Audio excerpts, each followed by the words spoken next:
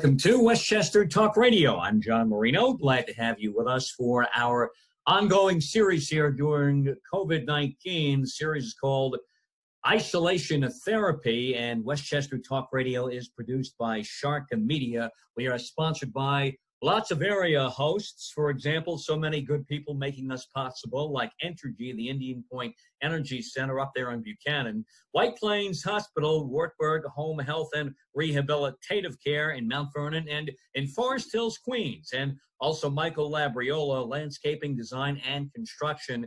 Michael Labriola, the last name is the first name in landscaping, and by our good friends at Durante Rentals all throughout the tri state area in New York now in New Jersey too on Route 17 North in Hasbrouck Heights and in the Danbury, Connecticut area as well. Our guest today is Dr. Diana Concannon. Dr. Diana Concannon to talk with us about pandemic psychology. Dr. Concannon is an associate provo out in California at the Alliant International University with six campuses in California and a number of campuses around the world. She's a psychologist. She works in disaster and emergency response in the Los Angeles County area, that is the most populous county in the country.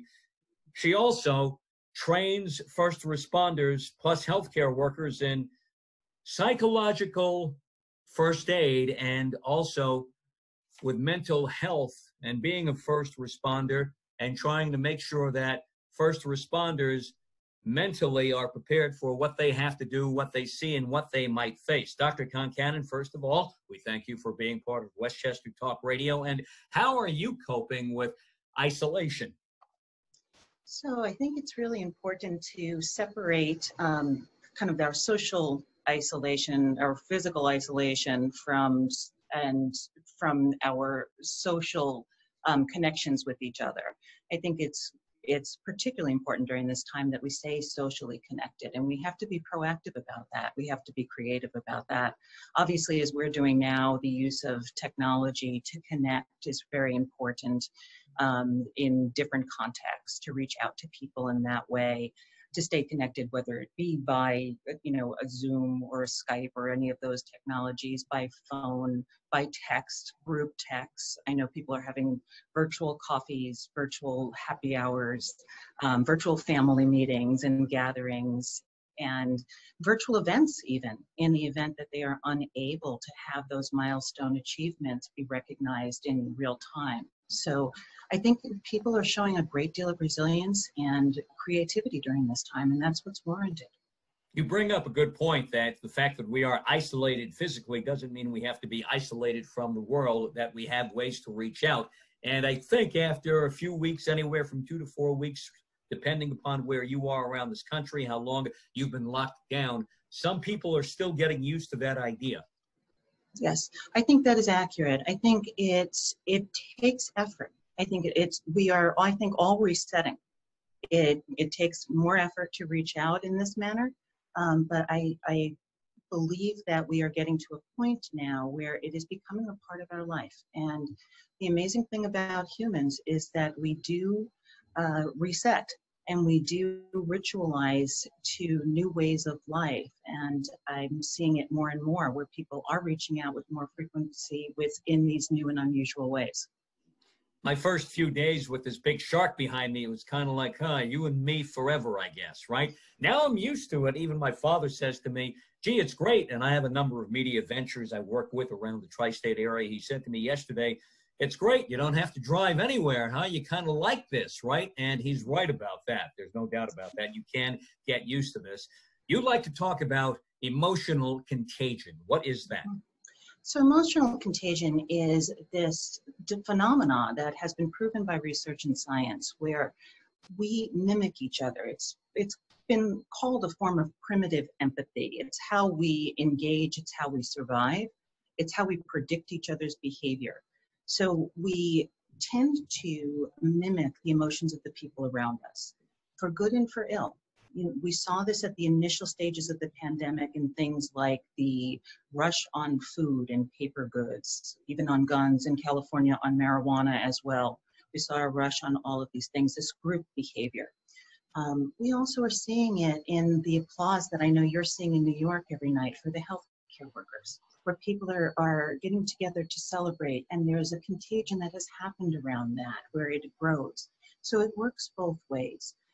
Why that is important to note in times of social distancing is because if we are with individuals who are feeling anxious, which is a normal reaction during this time, we want to ensure that we calibrate the amount of exposure that we have to those individuals during the times that they are feeling anxiety. Of course, we want to support those that we're connected to when they're feeling anxious.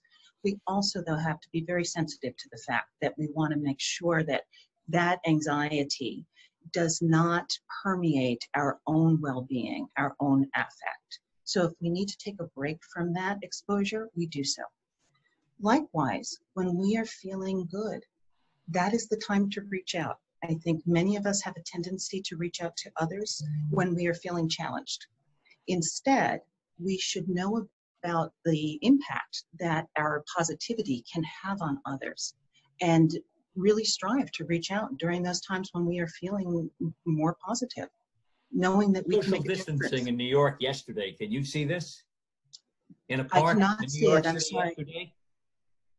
This is not social distancing, and people aren't getting the idea. But we are talking with Dr. Diana Concannon, Alliant International University, six California campuses, another campus is in the San Diego area, I guess, out of those six, and also too you have uh, campuses around the world. You are a psychologist. You deal with pandemic psychology, everything going on psychologically now throughout this COVID 19 crisis. How do we mitigate psychologically and mentally these effects or potential effects of being locked up, cooped up because of COVID 19, or maybe like we were during Hurricane Sandy in this area after 9 11, after a major tornado in the Midwest or South? How do we deal with that? How do we make sure we stay us? I stay me, you stay you.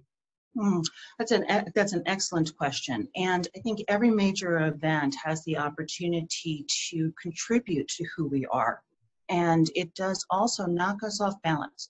And I think we have to recognize that. Again, we call in psychological first aid having these experiences, you know, normal reactions to abnormal events. I think first we have to recognize that we are likely going to have heightened responses to an event like this. This is a very aberrant event, in even considering the other events that we have gone through before many of us. The duration of this event, the severity of this event, the uncertainty associated with this event are so amplified that it would be unusual for us to not have some extreme reactions internally at certain points. And so recognizing that and allowing for that and knowing that that is a normal experience during this time is really important. At the same time, knowing that we our normal routines have been disrupted and that we need to make new ones in order to stay connected to who we are um, is also important. So creating those new routines that represent and reflect those aspects of life that are important to us and that really um, reflect our priorities is also critically important. The other thing to recognize as well is for those that may be struggling beyond what is um, comfortable, those that might not being able to have good days alongside those that are maybe more anxiety ridden. Um, it's important to reach out. You know, I will tell you in the mental health community, I have been so impressed by my colleagues who have mobilized and have gotten onto telehealth.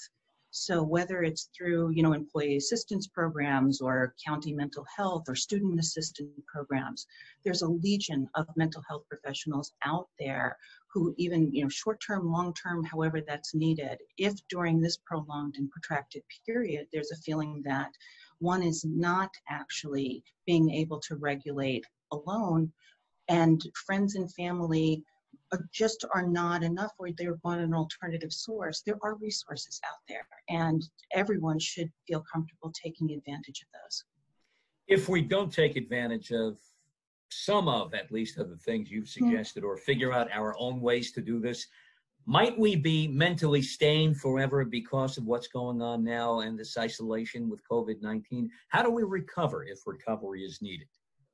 So I think that most people do recover. I mean, if there's eh, most people who experience what we know from you know disaster mental health is that we are extremely resilient as humans, and most people do have a, a response and a resilience. And actually, adversity tends to strengthen most of us and has us go through what then when we resume what we would consider to be more normalcy in our lives, we have a strength that comes with us and we grow through it. And so that's really important to connect to and to look for opportunities where we can be intentional about strengthening ourselves emotionally, physically, mentally.